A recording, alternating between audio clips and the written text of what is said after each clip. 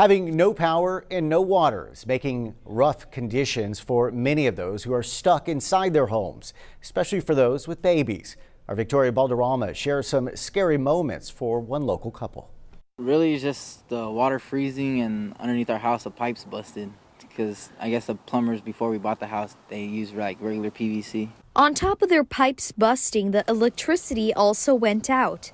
This is when Megan and Ben noticed something odd. The power goes out and um, we went to go change her. One of her toes were um, reddish, and it looked like um, it was pilling.